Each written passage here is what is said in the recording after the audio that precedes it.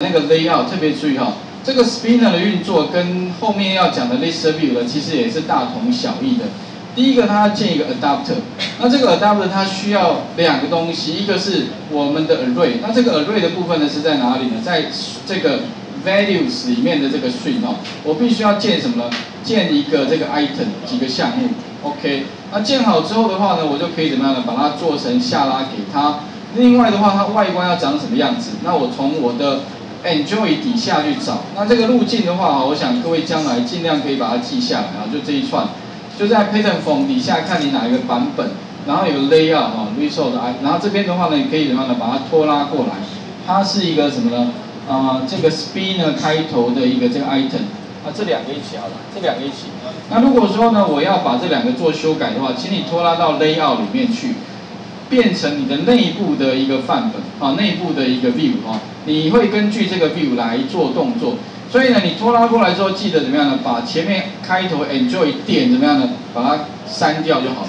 这样的话就会从外部的范本变成内部的范本。第一步，第二步呢？如果说我今天希望做出来像什么呢？做出来的话呢，我希望哦，哎，这个地方有没有看到变颜色，字也变大小比较大，对不对？那这个地方该怎么做呢？也非常简单。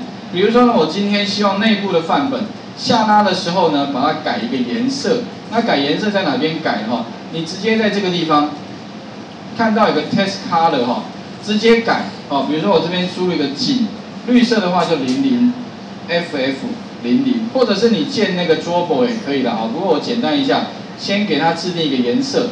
Size 的部分的话呢，给它大概二十四，后面记得要给单位哦。单位我用 SP 好了，OK，那二十四的 SP 点一下，那这个大小就制定完毕，把它 save 一下，OK。再来的话呢，桌点下去之后有个桌档的这个部分，点下去一样哦，去改它的这个，我用 A 到 Z 好了哦，最底下这边颜色的话呢，color 我给它红色的，那红色的话就仅什么呢？FF 零零零零，那字的大小给它二十的 SP，OK，把它 save 一下。好，那这个地方的话呢，我完成之后哈，记得就是你的城市本身呢，也要把那个 enjoy 开头这个拿掉，OK。那这样的话呢，你把它跑出来哈，执行起来之后的话呢，那各位可以看到这个地方字就变成红色，而且呢，点下去这个字就是二十 SP，二十 SP。那这个地方点下去就是二十四 SP 哈，然后变也是绿色的，OK。那这里的话，我想哦，各位试试看。